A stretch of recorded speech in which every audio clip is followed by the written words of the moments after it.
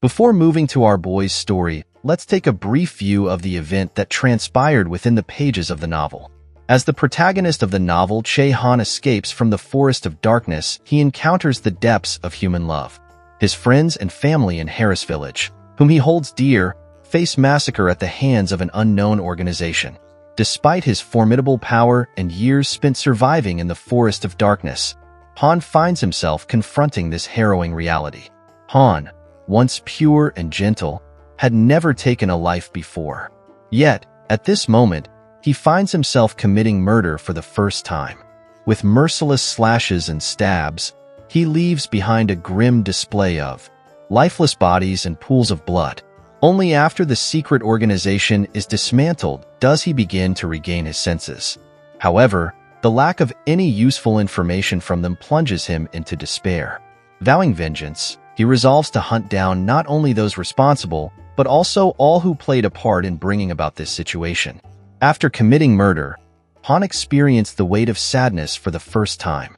Departing from the village also for the first time, he arrives in the bustling city at the heart of Henituse Weston. Through a chance encounter, he crosses paths with Cale, who ends up thoroughly beaten by Han. Now turning to our hero Kim Roxu, who finds himself transformed into Cale Henituse. Prior to this unexpected turn of events, his day had been uneventful, spending his day off in an ordinary manner. He had borrowed The Birth of the Hero and simply dozed off while reading it. Contemplating his situation, he wonders if he's experiencing possession, finding it disconcerting to resemble Cale so closely. Reflecting on Volume 1, he recalls Cale Henituse as a minor antagonist whose sole purpose was to highlight Che Han's brilliance. Relaxing in a hot bath, he muses that his current state isn't all that terrible. With no strong attachments, he acknowledges his status as an orphan without wealth, romantic entanglements, or close friends worth sacrificing for. He simply exists day by day, clinging to life because he hasn't yet met death. This had been the essence of Kim Roxu's life. However, he realizes he cannot simply die in this moment. Despite his aversion to pain and the prospect of a less than ideal existence, he concludes that living life in this world is preferable to the alternative. He checks his body for a scar, a reminder that he has yet to encounter Che Han. The tale recounts how Cale Henituse, known as the Trash of the Count, got drunk before his encounter with Che Han, resulting in the scar on his side. It all began because he found the taste of alcohol displeasing. Uncertain of what transpired with Cale following that incident, while Han embarks on a journey to meet Giant after enduring various trials and emerging as a conventional hero. After assuming the identity of Cale, Kim Roxu adopted a straightforward life motto, avoid getting hit from now on. Excluding the previously mentioned incident, Coiming out of the bathtub, he believes that he can likely continue progressing through the story independently. Opting to keep a low profile to ensure longevity, he resolves to steer clear of pain and find solace in life's simple pleasures. Embracing a relaxed attitude, he decides to take things easy. Fortunately, he retains clear memories of the novel's beginning, making his plan seem entirely feasible. Emerging from his thoughts, Kim Roxu responds to a voice addressing him as young master and confirming that he is still in the bath. Upon stepping out, he encounters Ron, a slightly aged man holding a cup of tea. Ron portrays himself as a harmless person, yet Roxu knows his true nature to be cruel and merciless, having crossed over from the eastern continent as an assassin. Despite considering the idea of handing over this dangerous individual to Che Han, Roxu outwardly expresses gratitude to him for his service. Ron isn't the sole dangerous individual by Roxu's side. There are numerous formidable individuals living here. Recognizing the necessity of strength to ensure his own protection in a continent on the brink of war, he understands the importance of attaining a respectable level of power. However, he also realizes the need to avoid drawing excessive attention by becoming too strong. His thoughts are held on pause as another servant of Cale approaches and announces plans to begin dressing him. Roxu asks to wear something simple. As he dresses in Cale's attire, he muses on his own handsomeness, noting how it effortlessly elevates any outfit. Reflecting, he acknowledges that the face is indeed the key to fashion. Once prepared, he instructs Ron to accompany him outside. Together, They proceed down the corridor, where servants line up, bowing respectfully and offering their morning greetings. Amidst the procession, Roxu catches a trembling voice uttering a greeting. Pausing momentarily, he contemplates whether the female servant is scared that her voice is trembling. Cale Henituse wasn't prone to physical violence. At most, he'd smash things when drunk. His tendencies leaned more toward revelry and alcohol, earning him the title of trash. Reflecting on this, Roxu wonders if it might be preferable for everyone to simply leave him alone. Ron interrupts his thoughts, announcing that he will now open the door and wishes Roxu an enjoyable breakfast. Grateful, Roxu expresses his thanks to Ron and tells him to eat as well. Upon entering, the lad discovers a vast dining table adorned with an array of breakfast dishes, with Cale's family seated around it, awaiting his arrival. Cale has quite the interesting family. His dad, Count Deruth, is the head of the Henituse house. Then there's his stepmom, Countess Violan, and his younger brother Basen, as well as his little sister Lily. Cale's dad scolds him for being late again and tells him to take a seat. So, he plops down on the chair in front of his dad. The thing is, his dad doesn't have any power or anything like that. He's just loaded with money. On top of that, his stepmom and siblings tend to avoid him, so it's like he's living in his own little world. Everything's fine, except for the way they all stare at him. Cale asks his dad if there's something he wants to say, but it turns out there's nothing. He's starting to understand why they find him so hard to handle. So he decides to eat quickly and make his exit. As he takes his first bites, he can't help but savor the juicy sausages, causing a smile to spread across his lips. His little brother Basen is taken aback by the unexpected smile, but quickly turns away and apologizes for his earlier comment. Roxu thinks of him as a weirdo. He then glances at his wine glass, taking in its fragrant aroma as he gives it a sniff. Taking a sip, he relishes in the delicious taste of the wine. Suddenly, his father flinches, questioning that Roxu called it delicious although it tasted like trash. Roxu quickly praises the delectable breakfast items, hoping to divert the attention away from the wine mishap. His father is pleased to see him enjoying the food, and Roxu encourages him to enjoy his meal as well. It feels good for Roxu that they aren't criticizing him for his lack of manners, and he loves being the family trash. Plus, he reminds himself not to annoy Basen too much. He contemplates the idea of avoiding the complexities of ruling the territory and instead prefers to relax in a peaceful setting using his status as the Count's older brother.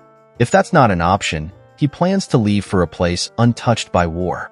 After finishing breakfast and wiping his face, his father inquires if he needs anything else. Roxu takes a moment to think and then requests some money from him.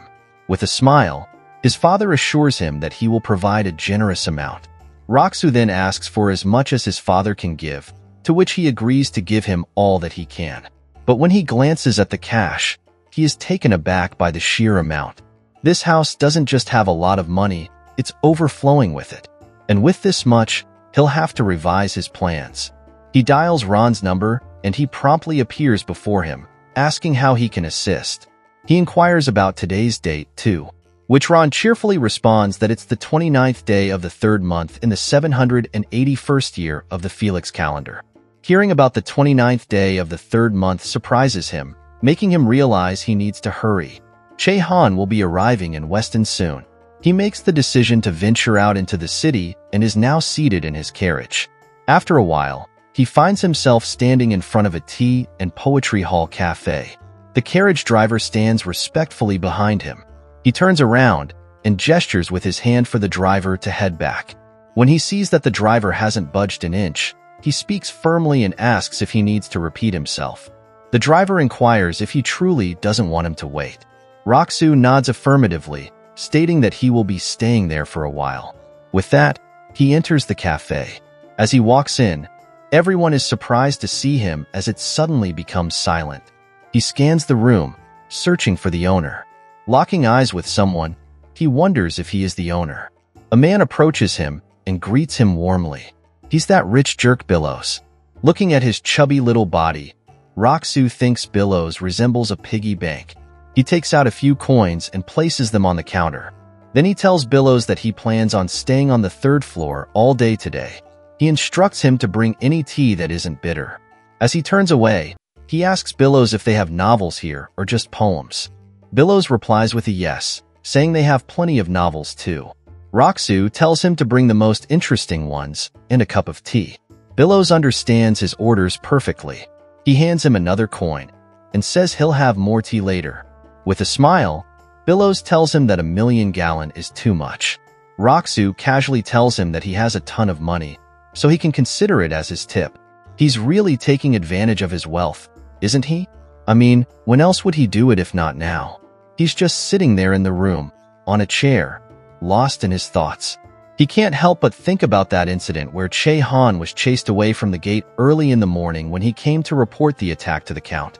Instead of focusing on finding information about the assassins and seeking justice for his loved ones, Han's priority was to give them a proper farewell. It makes him wonder about Han's compassionate nature. Why should the rulers of this land even care about some insignificant villagers who died?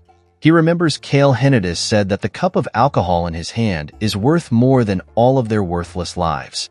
Han stayed silent for a moment, then speaks up, saying how intriguing it is. He's really curious to see if Cale will ever change his mind. He snatches Cale away from his jaws, suggesting they give it a try. Now Kim Roxu contemplates about this unexpected event has, and he shivers at the thought of that encounter. Sweat covers his body as he reminds himself to stop dwelling on the novel's contents. Suddenly, he glances outside and is horrified to see Che Han being halted by the guards near the building. Roxu wonders if they are asking for his identification papers. He peers outside and realizes that Han probably doesn't have anything to prove his identity. As he watches Han walk away, he feels relieved that his access has been denied. However, he knows that Han will obediently wait until nightfall to scale the walls and secretly enter the city. And then, he will come across drunk Cale Henituse. He rises from his seat and steps out of the room. He lets Billos know that he'll be gone for a while and asks him not to clear his spot. Billos nods in agreement. Roxu heads towards the exit door and walks outside. All eyes turn to him as he leaves. The onlookers are surprised that Roxu left without causing any trouble. Roxu overhears their whispers about him. He contemplates the fact that he should equip himself with skills and abilities to defend against powerful individuals, just in case he encounters any. As war is coming to this land, and he needs to be discreet but strong, to live long without any pain as it always finds company. He needs something like a magical spell, but his thoughts are diverted by a sweet aroma, and he finds himself in front of a shop. The shopkeeper is taken aback when he sees Cale standing in front of him and addresses him respectfully as young master. He nervously welcomes him. Roxu, on the other hand, is no longer surprised by this reaction. He simply asks the shopkeeper for some bread. The man, still in shock, looks at him for confirmation. Ignoring the shopkeeper's startled expression, Roxu points to the stall and instructs him where to place the bread.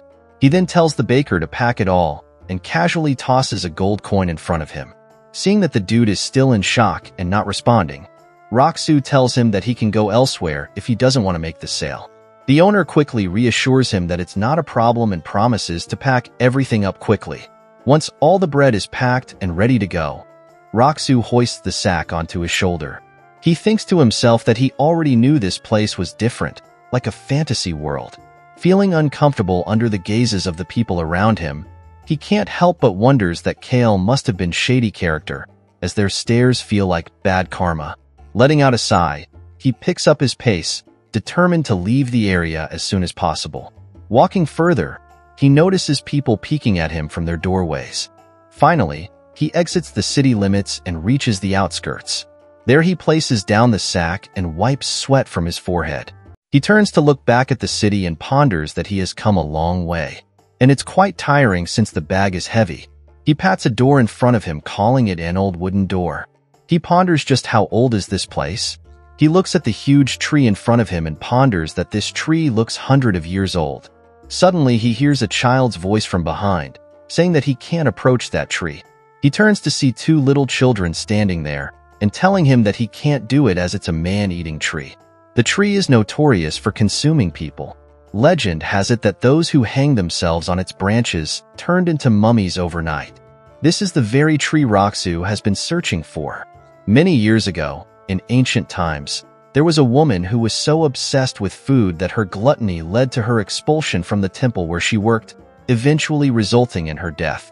A tree sprouted from her remains. The tree is said to hold the grudges and power of that woman. It is believed to possess the power of an indestructible shield, the very thing he has been seeking. With a heavy sigh, he gently taps the surface of the tree in search of the shield. Kids warn him to quit, or he'll kick the bucket. He gets annoyed by their voices and thinks to himself that there are always nosy kids around. He makes up his mind to shoo them away before proceeding. He steps out the door and walks towards the children, making them flinch. The little girl gives him an innocent look and says that it's a tree that devours people, and he'll meet his end if he gets too close. Fuming, with anger, he hurls bread bags at them and orders them to run. Yet, the child keeps insisting that it's a man-eating tree. Roxu looks around and wonders if they haven't heard of Cale. The trash? The little boy, upon hearing this, quickly grabs onto his sister and urges her to leave. The girl turns back and warns him once more not to approach the tree.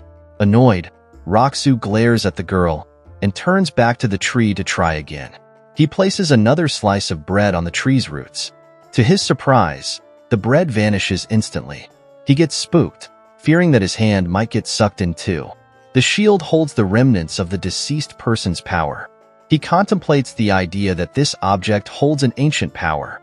Surprisingly, these wild and primitive beings are the ones he can rely on. He recalls the advice to keep feeding it until the darkness vanishes. This darkness was born out of resentment. Once it fades away, the light hidden within will emerge.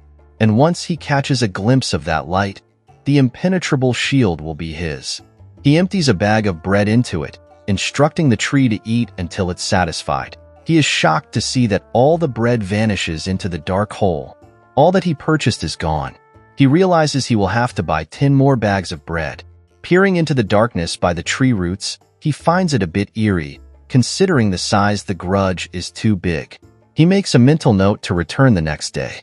Exiting through the wooden door, he is amazed to find children happily munching on bread by the wall.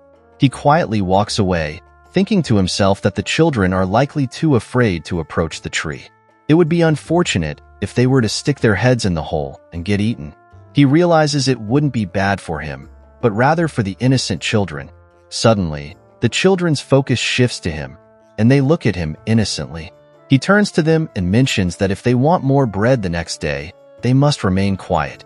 Later, he returns to the book cafe, and after some time, he descends from the third floor to inform Billos that he is leaving. Billos expresses his anticipation for the next visit, while Roxu compliments the tea and mentions that he found the book interesting, having read half of it. He appreciates how the main character's abilities are acknowledged and how they develop throughout the story. He jokingly asks Billos to keep the book exclusive for him, so he can continue reading it during his visits. Billos responds with a smile, stating that he will save the book specifically for his young master Cale. He kindly asks Cale to come again soon, as he eagerly awaits his return. Roxu assures him that he will definitely show up. A little while later, as he steps into a bar, someone eagerly approaches him to greet him. Observing the quivering tone in his voice, Roxu realizes that he is also frightened. It's understandable, considering that whenever Cale drinks, everything around him tends to shatter. Kim Roxu then tosses a coin towards the bartender and instructs him to fetch his regular bottle along with some roasted chicken breasts, without any salt. The bartender questions if he would like to find a seat first. After not hearing back from him, he quickly dashes off to retrieve his order. Cale scans the area and smirks, knowing that the gangsters and scammers are purposely avoiding eye contact with him. It makes him realize that Cale is quite an unusual character. Typically, those from rich families trash tend to get along with gangsters and scammers, but Cale despised both types of people. He considered them to be lowlifes. Before leaving, the waiter arrives and serves him. As he walks towards the exit, he contemplates the mysterious bottle that Cale always drank. It's probably the priciest alcohol available in the store. He uncorks the bottle and takes a swig without bothering with a glass. As he strolls down the street, he revels in the warmth spreading through him from the drink. He tries to pinpoint its location, estimating it's about 100 steps from the city gate, next to the wall. Peeking around a corner, he confirms his suspicions as Che Han vaults over the wall. His gaze shifts to a tiny kitten being body slammed by a larger cat, hurtling towards the wall where it's about to crash. He contemplates the fact that in this world, coincidences have a significant impact. The scene from the novel flashes through his mind, where Han twists his ankle while trying to avoid stepping on the cat. As he turns around, he catches sight of Han, and Kim Rock-soo can't help but think what a kind person he seems to be. Finally finding him, Rock-soo starts to feel anxious. Thankfully, he's had a few drinks, which makes him feel more at ease. He decides that he should make a witty remark and leave a positive first impression. He walks up to the tiny kittens and notices that they seem quite hungry. He opens the bag of food and sets it down in front of them, urging them to eat. As the kittens approach the food, he realizes that they appear younger than he initially thought. He breaks off small pieces of meat and asks if they can handle chicken breasts. One of the kittens hisses and immediately opens its mouth. Rock-soo gently strokes its head, encouraging it to eat and get well soon. While patting them, he inquires if they have somewhere to go. Meanwhile, Han remains seated in the distance, maintaining his silence. Rock-soo raises his voice once more, asking if Han has no place to go or if he's not hungry. As expected, Han doesn't utter a word, leading Rock-soo to believe that he must be observing him. Undeterred, he asks again if Han is not hungry. This time, Han responds, admitting that he is indeed hungry. Rock-soo stands up and approaches him, positioning himself in front of Han. He instructs Han to follow him, promising to provide him with a satisfying meal. Rock-soo believes that by offering delicious food, he can make a great first impression. He instructs Han to come with him and stops in front of the kittens who are engrossed in their meal. Rock-soo reflects that he isn't particularly fond of cats, but these ones are undeniably adorable. Despite being captivated by the cats, he can't help but notice Han's stare. Rock-soo gently strokes the cats while questioning if they like his company. However, it's time for him to depart now. As a result, the cats jump off from his grip and run away, prompting Rock-soo to release a sigh of relief. Then Rock-soo continues to walk ahead, and Han is trailing behind him. He pretends not to notice, but Han is watching him closely. Rock-soo eventually turns around and questions what he is up to. He wonders if Han is once again assessing him to determine if he is an easy target to defeat. Han was lost in his thoughts when Rock-soo asked him if he was not coming in. Suddenly, Someone addressed Rock-soo as the young master. This makes him angry as he wonders why they can't stop calling him young master every time. It frustrates him to hear them stuttering their words each time. They tell him to head inside. As they enter, Ron bows in front of him and welcomes him back. Rock-soo thanks him and thinks to himself that Ron was really waiting for him. He feels scared of this old man. Seeing Ron and Han staring at each other, Rock-soo ponders if he's just imagining it or if there's some kind of unusual tension between them. He suddenly breaks free from his thoughts and tells Han to accompany him. Ron asks about the situation and offers to help with the guest if the master tells him what he needs. Rock-soo politely declines the assistance and proceeds up the stairs with Han following closely behind. Now that Han and Ron have been introduced it was enough. Out of nowhere, another person calls out to him, referring to him as Sir and questioning if he has come back after drinking.